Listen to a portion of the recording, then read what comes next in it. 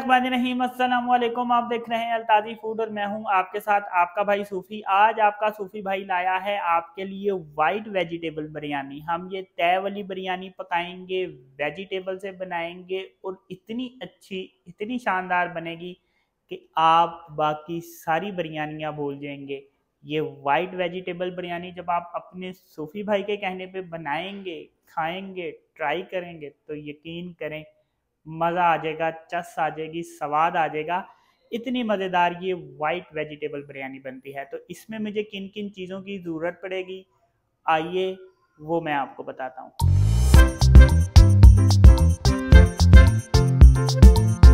यहाँ पे मैंने तीन पाव चावल लिए हैं और चावलों को मैंने 10 मिनट पहले भगो लिया है। जब तक मैं बाकी सारी चीज़ों की तैयारी करूँगा तो चावलों को भीगे हुए 25 से 30 मिनट हो जाएँगे। तो चावल हमने 25 से 30 मिनट पहले भगोना होता है। चावल मैं आपको बता देता हूँ, बासमती चावल है और ये जो चावल होते हैं ना, इनके नंबर होते हैं। तो इन चावलों का जो सबसे अच्छे चावल होते हैं, इनका नंबर होता है ग्यारह इक्कीस।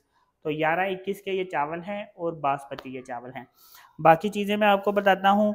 यहाँ पे मैंने शिमला मिर्च ली है, एक पाव शिमला मिर्च है और इसको मैंने इस तरह से बरीक बरीक काटा है और इसके मैंने बीज नहीं लिए। मूंगरे हैं, एक पाव। गाजरे हैं, एक पाव। मटर हैं, एक पाव। यहाँ पे मैंने एक पाव आलू लिए हैं और आलूओं को इस तरह से मैंने बरीक बरीक लंबा लंबा काटा है, जैसे हम चिप्स के लिए काटते हैं। एक पाव मैंने बंद गोभी ली है, पुदीना लिया है, आधी गठी ये पुदीने की है। हरी मिर्चों को मैंने कूट लिया है और तीन टेबल स्पून मैंने हरी मिर्चें ली हैं, आप हसबे जायका ले सकते हैं। ये है चिली सॉस। तीन टेबल स्पून लिया है। सफ़ेद ज़ीरा है, एक टीस्पून काली मिर्च है, एक टीस्पून सफ़ेद मिर्च है, एक टीस्पून दो बड़ी इलाचियाँ हैं दाल चीनी है, तेज़ पत्ता है और जैफल, जैवत्री, बादियान और सब्ज़ इलायची। चार दाने सब्ज़ इलायची के हैं और बाकी मैंने थोड़ी थोड़ी एक एक पीस लिया है। हाफ़ टी स्पून यहाँ पर मैंने चाइनीज़ नमक लिया है और एक टी स्पून नमक लिया है।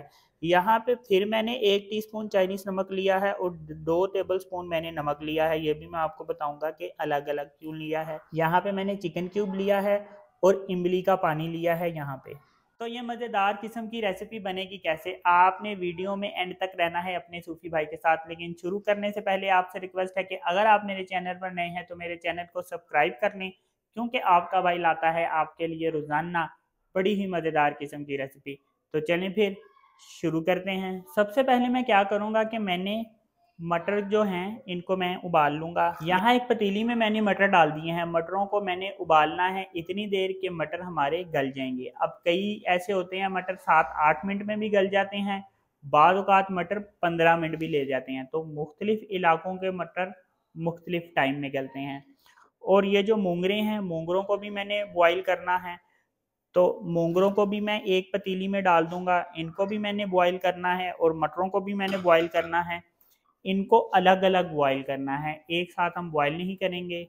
ये उबलते हैं, गलते हैं तो फिर मैं बताऊँगा कि नेक्स्ट स्टेप हम क्या करेंगे। मटर भी गल चुके हैं और मोंगरे भी गल चुके हैं। मोंगरे जो हैं वो 10 मिनट में गले हैं और जो मटर हैं हमारे वो 12 मिनट में अच्छे तरीके से गल गए हैं। अब मैं बताता हूँ कि अब हमने क्या करना है। मूंगरे और मटर को मैंने बॉईल कर लिया है और जो बाकी सब्ज़ियाँ हैं, इनको मैं फ्राई करूँगा। तो एक कढ़ाई में मैंने ऑयल ले लिया है और यहाँ एक पतीली में मैंने दो लीटर पानी रख दिया है। पानी उबलेगा तो मैंने इसमें चावल डालने हैं और अभी मैं बताता हूँ कि इसमें हमने क्या कुछ डालना है। यहाँ मैं, ये जो मेरे पास शिमला की मिर्च है, इसको मैं ऑयल में डाल दूँगा और इसको मैं फ्राई करूँगा। ज़्यादा हमने फ्राई नहीं करना, बस सब्जियों को हल्का हल्का सा हम फ्राई करेंगे।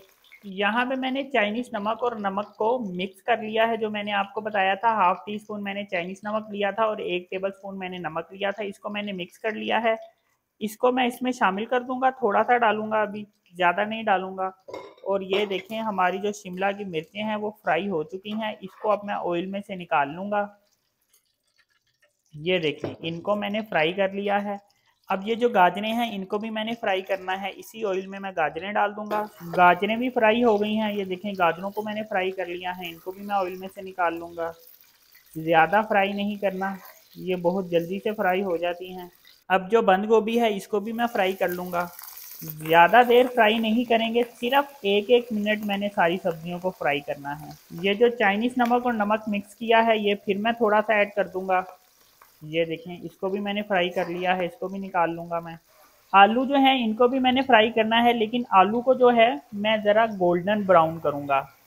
इसको हम थोड़ा ज़्यादा ब्राउन करेंगे, बाकी सब्ज़ियाँ हैं जो, इनको मैंने एक एक मिनट और आलू जब तक हमारे गोल्डन ब्राउन होंगे, इतनी देर हमने इसको फ्राई करना है।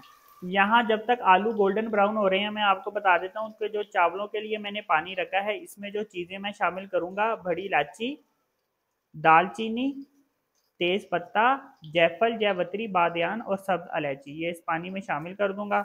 पानी बॉईल होगा तो फिर मैंने इसमें चावल ऐड करने हैं। कितना पानी बॉईल होगा तो इसमें चावल ऐड करने हैं। यहाँ पे जो मैंने आलू रखे हैं आलू ये देखें हमारे गोल्डन ब्राउन होना शुरू हो गए हैं। इसको थोड़ा सा गोल्डन ब्राउन हम और करेंगे। और आलू भी जो हैं वो हल्के से गोल्डन ब्राउन हुए हैं। इनको भी अब मैं निकाल लूँगा। मूंगरों को भी हमने फ्राई करना है। मोंगरे फ्राई हो गए हैं। मोंगरों को सिर्फ़ 30 सेकंड के लिए फ्राई करेंगे, क्योंकि एक ऑयल भी हमारा काफ़ी गर्म हो चुका है और इसको हमने ज़्यादा देर फ्राई करना भी नहीं है। सिर्फ़ 30 सेकंड मैंने इसको ऑयल में फ्राई किया है। अब इसी तरह मैं मटरों को भी फ्राई कर लूँगा। मटर भी फ्राई हो चुके हैं, ये देखें। ये देखें, सारी सब्ज़ियाँ जो थी, इस तरह मैंने इसको फ्राई कर लिया है ऑयल में। सब्ज़ियाँ फ्राई हो चुकी हैं। यहाँ मैंने पानी रखा है चावलों के लिए। मैंने अभी थोड़ी देर आपको पहले बताया था कि मैंने इसमें कुछ गर्म मसाले ऐड किए थे। अब इसमें मैं चिकन क्यूब का जो एक टिक्की होती है, ये ऐड कर रहा हूँ। इस तरह से तोड़ के ऐड करेंगे। पानी अभी थोड़ा और उबलेगा तो मैंने इसमें चावल ऐड करने हैं। एक फ्राई पैन में मैंने एक चम्मच ऑयल ले लिया है। यहाँ पे जो मैंने हरी मिर्चें ली थी, तीन टेबल स्पून, इनको भी मैंने फ्राई करना है। और इसको फ्राई करके मैं ऑयल में ही रहने दूँगा। इसको हमने ऑयल से निकालना नहीं है। इसको मैंने तकरीबन 30 से 40 सेकंड फ्राई किया है। ये देखें, पानी जब इस तरह से अच्छी तरह उबलेगा तो हमने इसमें चावल ऐड करने हैं। चावल डालने के बाद अब इसमें मैं एक टीस्पून चाइनीज़ नमक और दो टेबल स्पून ये जो मैंने नमक लिया है, ये शामिल कर दूँगा। अब चावलों को मैंने बॉईल करना है। कितनी देर में चावलों को बॉईल करूँगा तो चावल हमारे एक्स्ट्रा नहीं गलेंगे चावल हमारे टूटेंगे नहीं और फिर हमने इसको एक खसूसी दम लगाना है। दम लगाते वक्त हमने इसको तय भी लगानी है तो आपने वीडियो में एंड तक अपने सूफी भाई के साथ रहना है। चावल हमारे बॉयल हो चुके हैं पाँच मिनट मैंने चावलों को बॉयल किया है अब मैं चावलों को पानी से अलग कर लूँगा।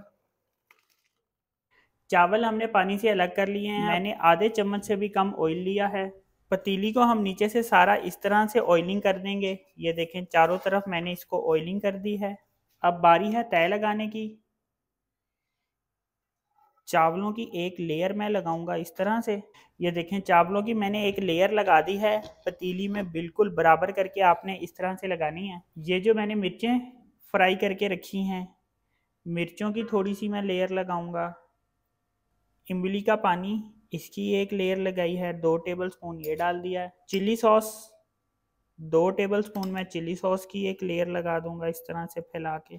यहाँ पे जो मैंने गाजरें फ्राई करके रखी थी, ये गाजरें भी इस पर हम बिछा के, फैला के डाल देंगे। अब ये जो काली मिर्चें हैं, इसको मैं इस तरह से डाल दूँगा, सफ़ेद ज़ीरा, ये भी इस तरह से मैं फैला के, और ये जो वाइट मिर्चें हैं, ये भी इस तरह से फैला के। आप अपनी आसानी के लिए इसको मिक्स करके भी इसमें डाल सकते हैं। ऐसे मैं इसको मिक्स कर लूँगा और दोबारा ताकि मुझे ये सारा डालने में आसानी होगी। अब इसमें मैं चावलों की एक लेयर लगाऊँगा। ये देखें, चावलों की मैंने इस तरह से लेयर लगा दिया है।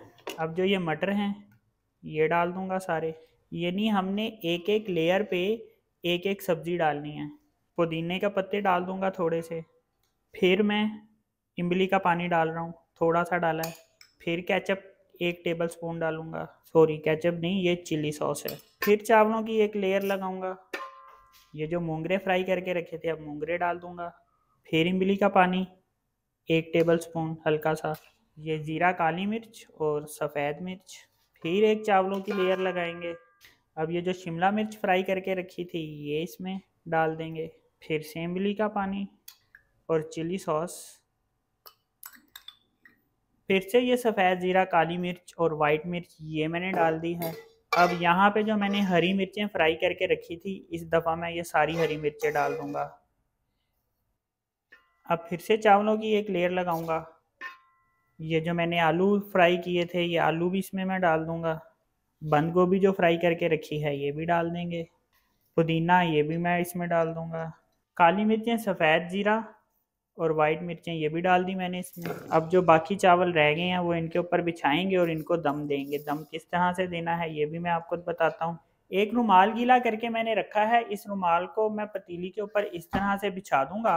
रुमाल इस तरह से बिछा के ढक्कन मैं इसके ऊपर इस तरह से दे दूँगा और यहाँ पे मैंने रुमाल को इसके ऊपर ऐसे कवर कर दिया है। और परात दे दी है। कितनी देर में हमारे चावल दम आएँगे? तो चावल अच्छे और खिले खिले दाना बनेंगे और ये वाइट वेजिटेबल बिरयानी बन के किस तरह से लगेगी? आपने वीडियो में एंड तक अपने भाई के साथ रहना है। चावल हमारे दम आ चुके हैं। 20 मिनट मैंने चावलों को दम लगाया है। ये देखें, माशाल्लाह कितने ज़बरदस्त चावल बनकर तैयार हुए हैं। कितना ज़बरदस्त दम आया है इनको। ये देखें चेक करें आप। माशाल्लाह कितनी ज़बरदस्त वेजिटेबल बिरयानी बनकर तैयार हुई है। ये देखें माशाल्लाह।